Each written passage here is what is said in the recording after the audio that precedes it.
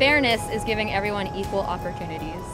And fairness to me is giving everyone an equal chance no matter who they are.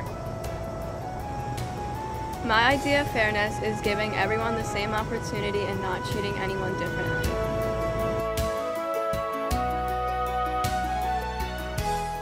Uh, some ways to be caring in the hallways is to watch each other, don't step on each other's shoes, kind of just walk normal pace.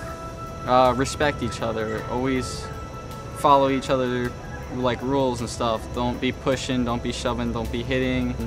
There are other people's properties, don't take other people's stuff without asking, and just take care of each other. Caring to me is just giving someone a hug when they need one.